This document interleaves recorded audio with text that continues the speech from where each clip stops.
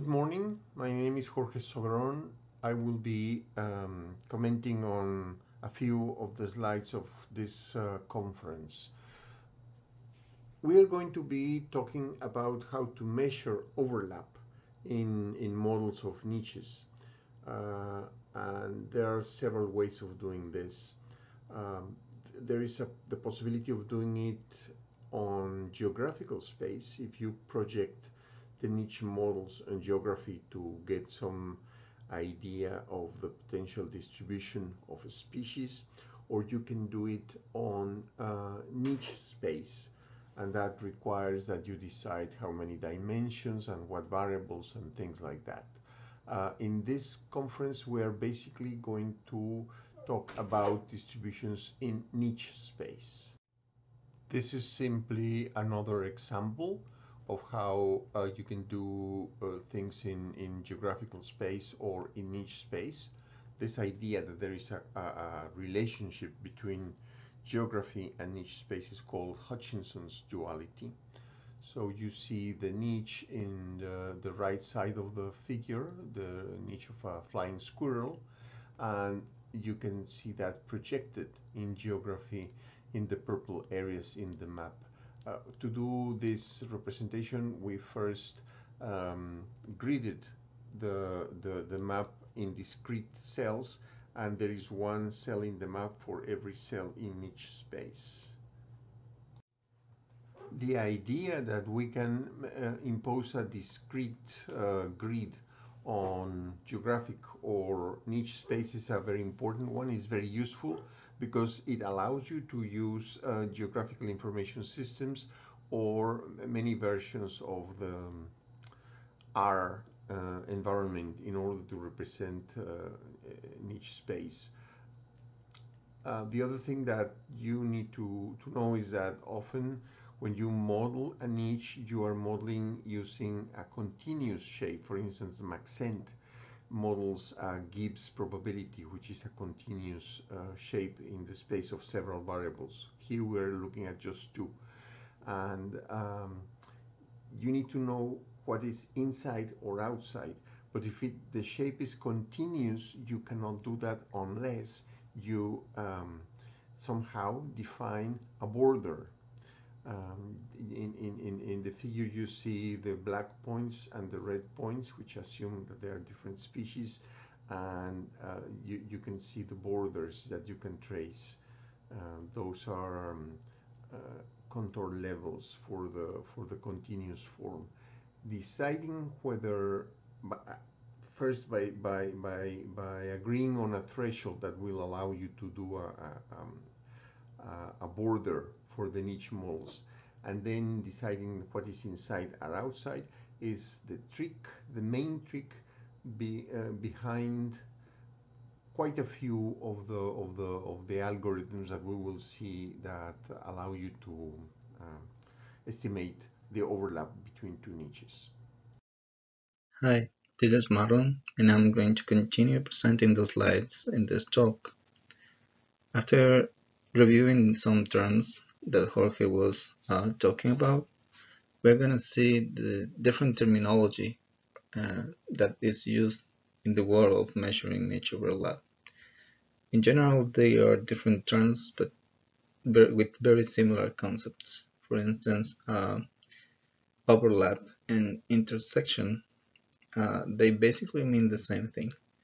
And it's basically how much one niche is on top or it's covering the same space than the other. And the two basic ideas behind all the metrics that we're going to see later uh, is shape and location. So in this slide you have here summarized different metrics that you can find. For instance, overlap and intersection that I just mentioned. Uh, but you also have similarity and proximity. And similarity is how how how alike these two niches or these two shapes are and it doesn't necessarily consider uh, where they are in which space they are if they are far or they are close uh, but some metrics do consider that further uh, additionally other than just considering similarity. So the other one is proximity, which basically is uh, the inverse of the distance. And there are different ways to measure distance from one niche to another, uh, but uh, most of the techniques that are out there uh, have considered the distance between the centroids of the niches in general. You can also consider other types of distances, but we'll see in the next slides some of the methods that we have summarized here.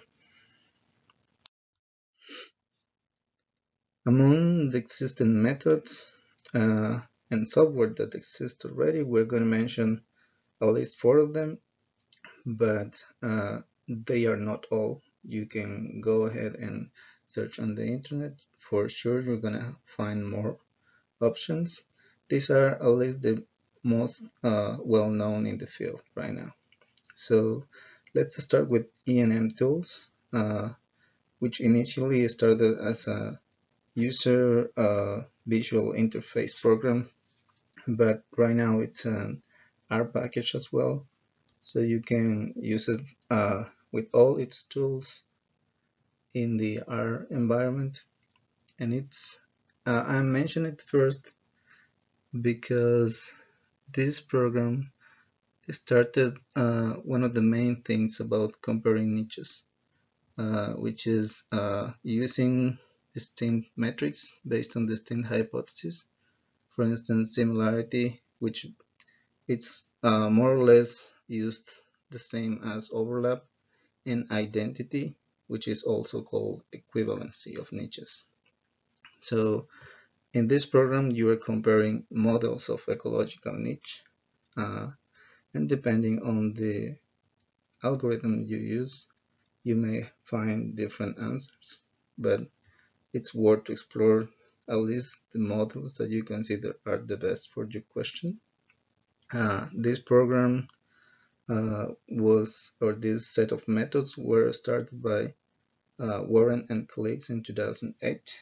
And among the metrics that they present there, uh, we have identity test, the background similarity test, which is uh, one of the innovations that they presented here. And this background similarity test right now has two options. One that is asymmetric and the other one that is symmetric. Uh, I'll talk about that in a bit I just wanted to explain what the background test is about. Uh, one of the good things about uh, this innovation that I was talking about is that they presented uh, the idea of measuring whether the overlap is statistically significant or not, basically comparing the actual niches against uh, random or uh, let's call it artificial niches that you can reconstruct based on uh, choosing randomly points from the background of one species and the other. So the asymmetric similarity test basically compares one of the niches against niches that you can reconstruct from the background of the other and then you have to do it the other way around and then the symmetric background I think uh, from what I understood in the method is that they create random niches for each of the species in their respective backgrounds and then compare them all and see how that comparison looks like against the one that is the observed between the two niches. Now, uh, the other test that they presented is the identity test, which basically allows you to calculate how uh, similar, not similar, but whether these niches are identical or not. And the idea that they proposed was to mix all the records from the two species and then uh, pick random points for one species and random points for the other species and compare uh, those niches that you can reconstruct based on those random points for each of the species and at the end you end up with a metric in which you can compare the observed value again against the one that you can obtain from this randomization process. So uh, that was one of the main innovations of this tool and I think most of the other tools that we're going to see later have been using these ideas later on. Um, the other thing I wanted to talk about this program is that they right now they have uh, another option. Initially they started doing comparisons in geographic space only but uh, I recently read that they are doing comparisons in the environmental space as well uh, and they are using an n-dimensional space for doing such comparisons. So you, you may want to take a look at that program. But again this program is using uh, models of ecological niche to compare those niches. The other main software that I wanted to talk about and also methods uh, is, are the ones that are in EcoSPAT. EcoSPAT is an R package which is based on a series of uh, theoretical background points and experiences that uh, these authors have been accumulating when they were comparing niches from native and invasive uh, records of species. And I think they presented a, a very good uh, set of ideas in this software and this set of methods, and I'm going to talk about them after telling you that the metrics that they use are similarity and identity. Again, uh, similarity is often called overlap in their approach, and identity is the equivalency test. Uh, perhaps I didn't mention before, but the difference between similarity and identity as proposed by the initial authors is that identity measures how similar two niches look like and equivalency is more a test of uh, whether this niche is the same as the other. Uh, so the ideas behind them are a little bit different. Uh, and the approach is also a little bit different when you are doing it. So the main difference from this uh, software compared to the previous one is that they use uh, they do comparisons in, in environmental space and this environmental space it's a two-dimensional space. So you can use temperature or precipitation or two other two set uh, other sets of variables of two variables only and they can be also principal components of your variables. And the ideas that I liked a lot in their approach is that they recognize that the differences in, in niches that you can be looking at. Uh, so you have the fundamental niche there then you have the realized niche, which is the niche that is used by the species because of uh, other uh, things that have been uh, restricting the species for using the whole fundamental niche, for instance, uh, the availability of environment, which is like saying, talking about the existing fundamental niche, uh, but also accessibility, because the realized niche is restricted by how much of that fundamental niche the species can actually access.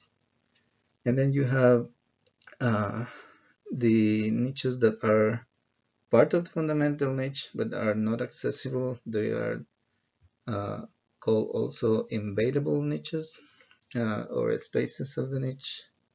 And they are here in red. And so those ideas behind this this uh, initial uh, proposition of methods or metrics are, are interesting.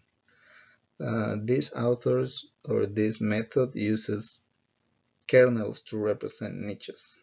So these kernels are constructed based on actual records of the species and therefore they cannot look like more the realized niche rather than the fundamental niche. And that's something you have to consider when you're uh, doing or using this metric. This is this is one of the figures they use for presenting the the software, and I like it because uh, you can see the kernels that they use for representing the niches, and also uh, well, although I don't have the legend here, you can see in different colors what is the uh, suitable niche for or, or the niche of the, the native range of the species or the native niche as they call it here the invasive niche. You see where they two overlap. You see uh, where it's just one where it's the other. They also have some ways to represent what is the uh, available space of the niche comparison because uh, remember they they are kind of have an, a hypothesis and this is one of the strengths of this software.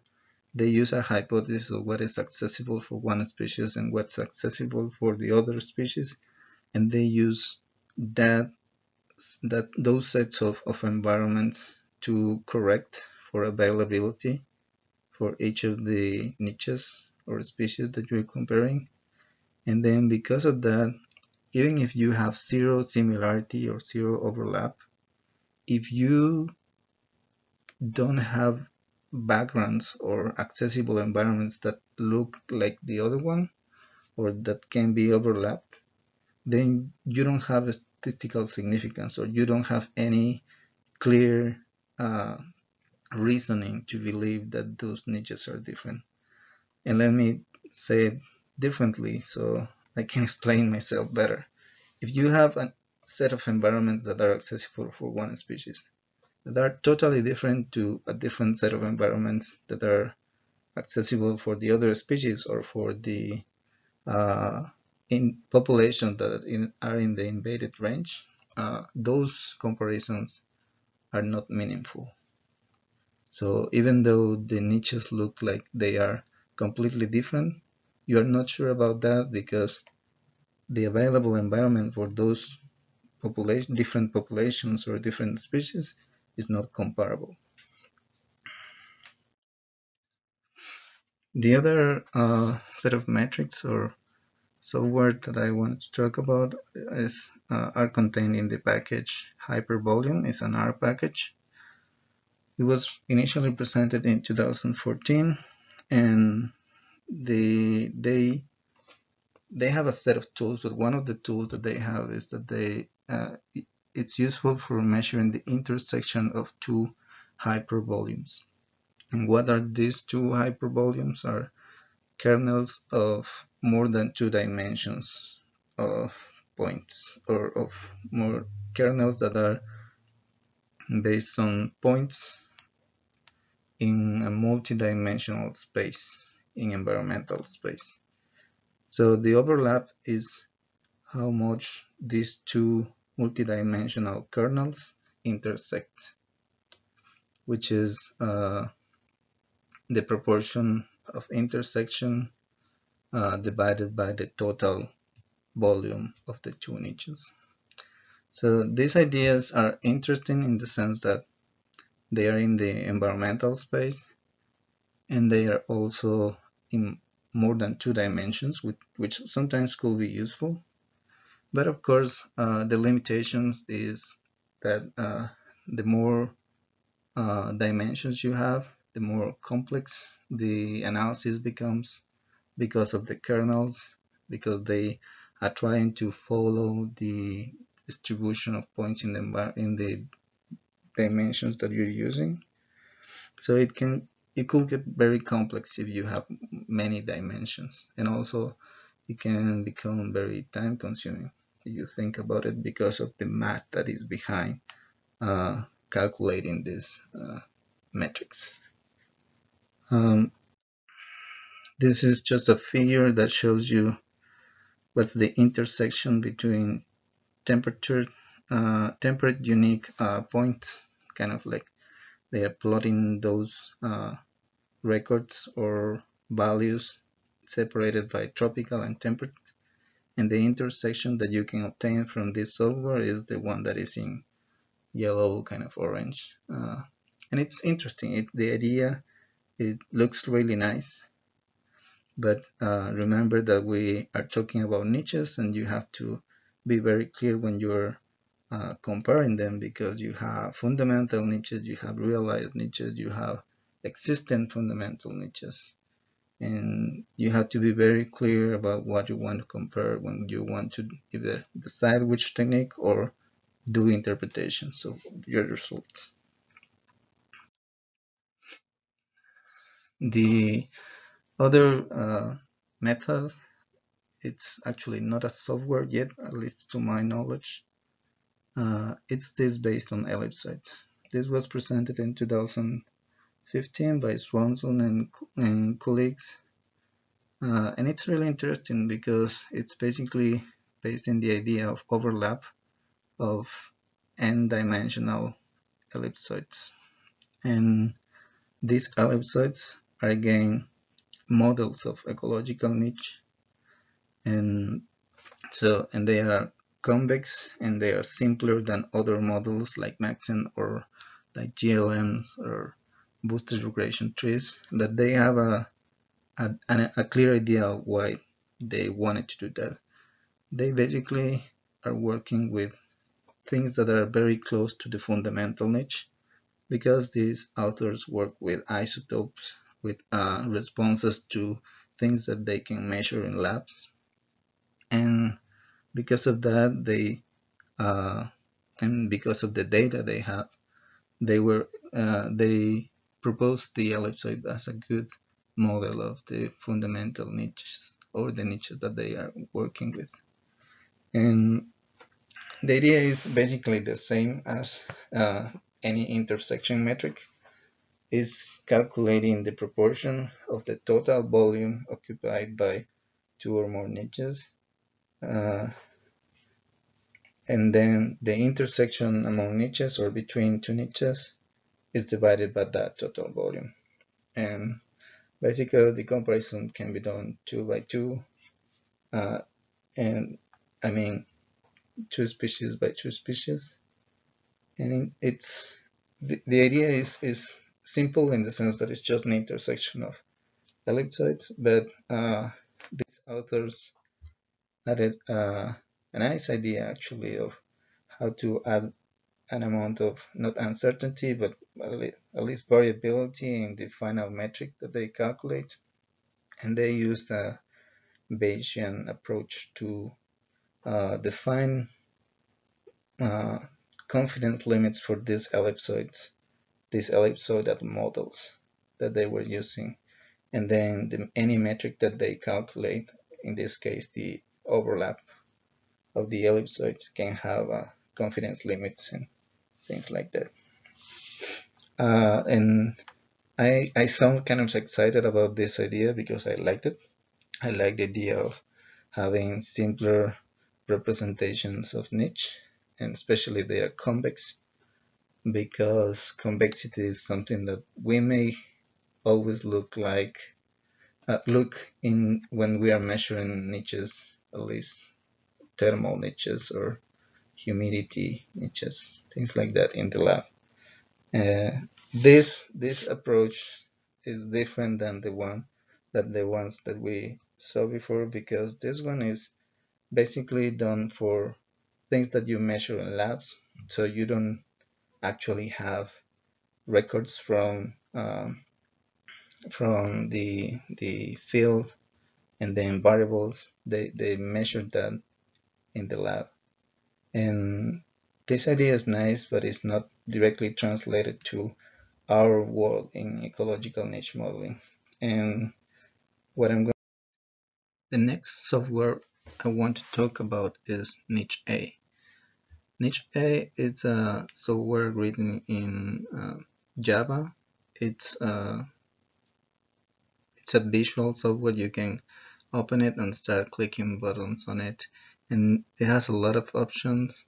And one of those options is the uh, availability of uh, analysis of niche overlap.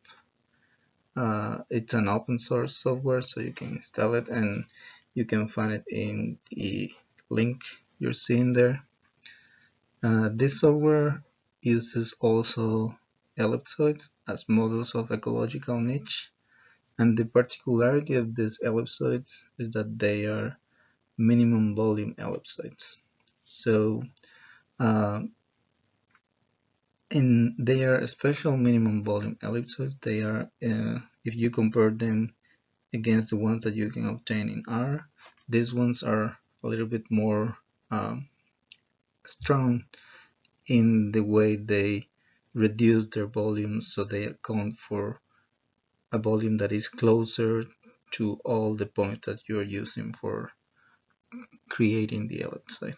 Uh, I'm gonna uh, include the the uh, reference to the literature that uh, describes this method and but again this is this is the idea of creating a model that is convex and that represents tolerances that way uh, and there are other options in this package but the one we're talking about now is the overlap option it also calculates the overlap as the intersection of ellipsoids and the way uh, this intersection is presented is as the Jaccard index.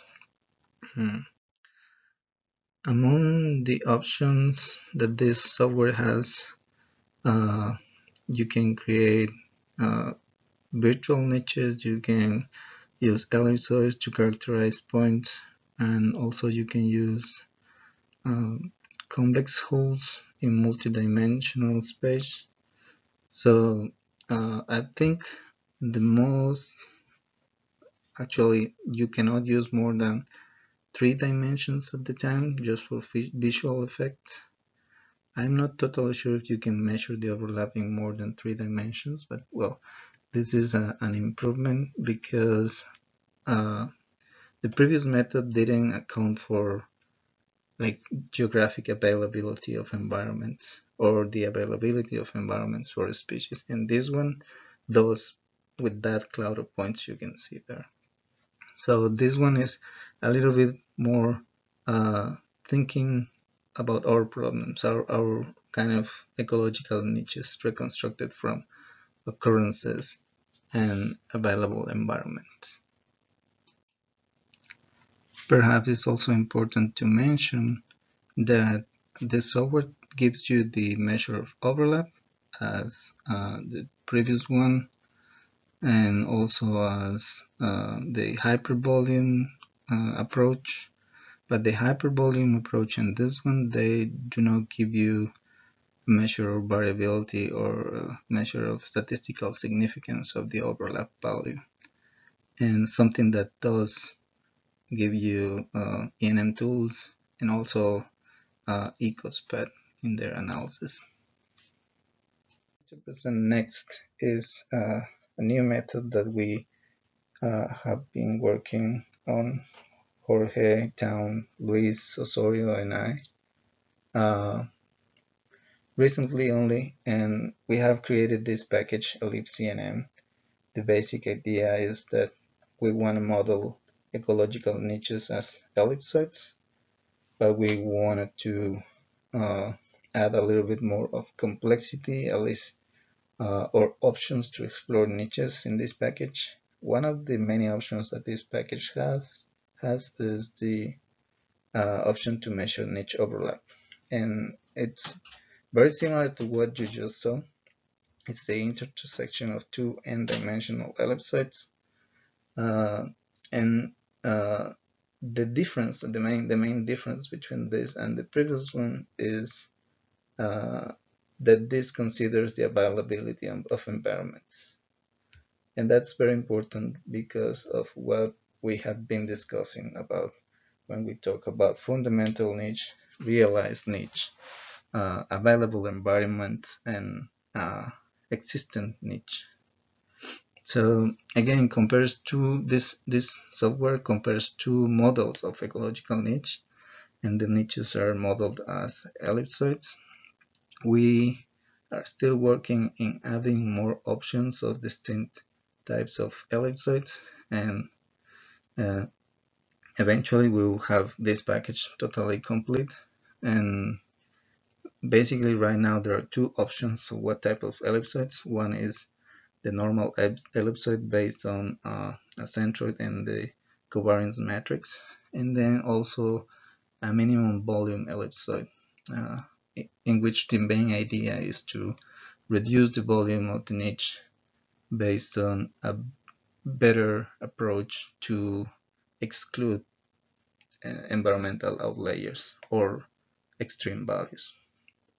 So the two options that you have in this package are measuring full overlap, which assumes that the whole ellipsoid is uh, the fundamental niche of the species and you compare those two niches and do the same thing that you did before with the other package and you have uh, a measure of intersection or overlap between these two ellipsoids. But again, the available environment in, the, in this case is the whole thing, the whole uh, set of potential values that you can have in the dimensions that you're working with. But as we know in our field that doesn't happen. Uh, we always we're always restricted by the availability of environments and we know that in the earth at least right now we don't have all potential values of temperatures or humidities or any other variable that we can measure so this other type of overlap the background overlap considers the available environment for each species so each species is going to have a set of points of occurrence records, a set of environments that are accessible for the species.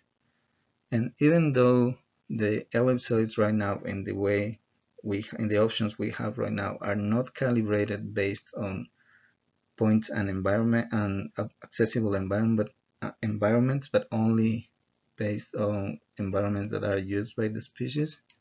This idea of considering available environments is very important when we're measuring when, when we're uh, looking at answers about whether this overlap that we see of these two ellipsoids is statistically significant or not and also it has a lot to do in the way we measure the overlap because you are comparing what's the overlap of these two ellipsoids, but based only in the volume that is actually accessible for the two species.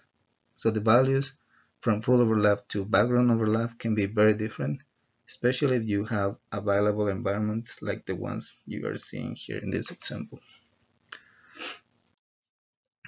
Just to give you an idea of why available environments matter, you have this animation. Uh, in the first panel, you have how the two niches look like. They look like they overlap, right? Uh, but if you measure the complete overlap, that's not that's not gonna give you a clear idea of what's actually happening because the available environment for the red niche is the one that you see in the second panel. And the available environment for the B niche it's the one that you see in the other panel. And they look different. So once you combine them you have a set of values that are relevant for comparisons of your niches. That's what we do in this new method then then we proceed to do other calculations but before that I just wanted to show you this and tell you that uh, the way we characterize we characterize niches matters a lot. It's not the same to use a GLM than an ellipsoid. Well, depending on the on the uh, response types that you use, it's not the same to use a, a GLM than a boosted regression tree. It's not the same to use an ellipsoid than to use a, a kernel density of points. All of them have different implications in your analysis and all of them have uh, different ideas behind them. So you have to be very careful when choosing what's the model of your niche so in this case we're looking at two distinct models one is a normal covariance the first one here in the left is a normal ellipsoid based on the centroid and covariance matrix of the point.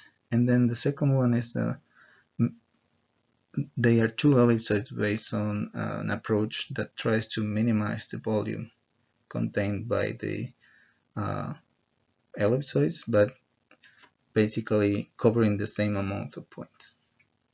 And the overlap in the first example looks like evident. Let me just put it in. And the, the overlap in the second example doesn't look that good.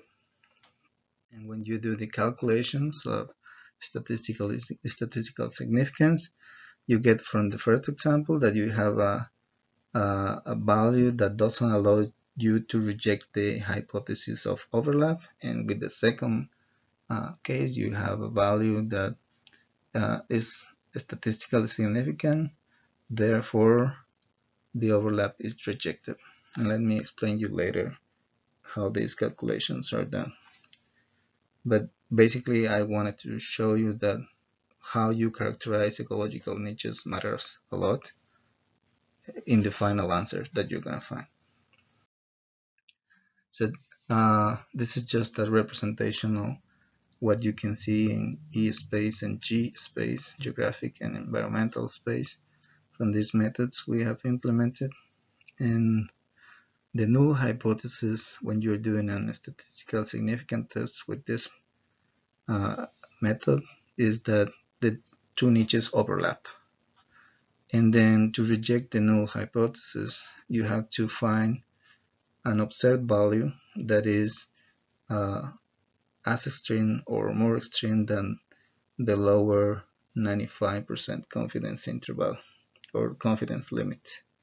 And how do you calculate this uh, confidence limit or interval? Well, in this case, what we do in this specific approach is to do something very similar to what the uh, background similarity test does in uh, the Warrens example in ENM tools, but the, symmet the symmetric example in which we randomly pick points from the available environment for one species, the same number that uh, that we have points for, and we do the same thing for the other species, randomly pick points from the background available for that species, and then compare those two uh, ellipsoids that are reconstructed based on those values, and do that a thousand or 500 times. And then you have these distributions of overlap values based on random uh, runnings and you compare that with your observed value. If your observed value is below that lower confidence limit, then you're you're sure that your observed overlap is statistically significant. Uh, so that means that you can reject the null hypothesis. And the null hypothesis is that the niches overlap. And I know it can be a little confusing, but with that I want to finish and thank you all and thanks Tom and Luis that are part of this project. And well you can find more information about the last project in the link below. And again thank you very much